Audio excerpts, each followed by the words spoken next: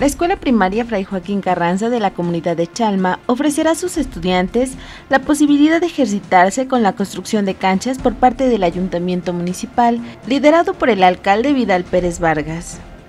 Gestión realizada por el Comité de Padres de Familia en pro del sano desarrollo de sus pequeños. La verdad que estamos muy contentos. Desde el primer momento que se hizo la solicitud con todos los integrantes de la Asociación de Padres de Familia, hubo una respuesta muy, muy aceptable. Este, desde el presidente, mis respetos, toda su, gente que lo acompaña, este, recibimos una, una atención y una, este, una respuesta muy rápida a lo que estamos muy contentos nosotros. Obra de calidad que quedará instalada para generaciones venideras. Es un recurso proveniente del FEFOM, son 420 mil pesos el recurso autorizado ahorita y ahorita se están haciendo los trabajos de unas cadenas para recibir todo lo que es la plancha, se van a hacer unas jardineras para evitar accidentes de los niños, ya que vemos una altura considerable y pues vamos a estar jugando fútbol, pues que se puedan divertir sin tener ningún accidente. Trascendencia por consolidar espacios dignos para los más pequeños, que impulsan la sana convivencia. El deporte es algo muy fundamental para ellos, para que no se orillen a agarrar eh, vicios o, cosas que a ellos les quitan el tiempo de, mala forma. ¿no?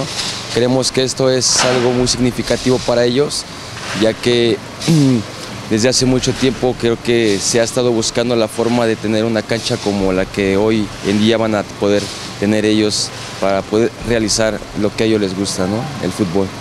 Incrementando la participación ciudadana, llevaron a cabo la instalación del Consejo Ciudadano de Control y Vigilancia, mismo que tendrá un papel importante para constatar el correcto avance de la obra.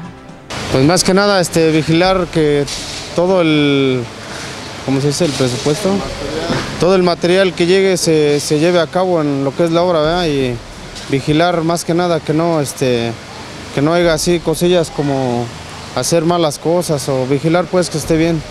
Trabajo que da certeza en las faenas que lleva a cabo el ayuntamiento. Bueno, el mensaje que nosotros le enviamos es eh, definitivamente agradecerte, este Vidal, este, por esa atención que tuviste hacia, bueno, pues hacia el pueblo de Chalma.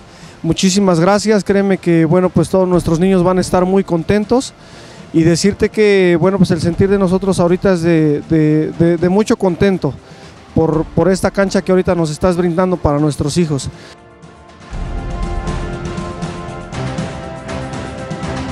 Para TV Urbana Noticias, Laura Saldaña.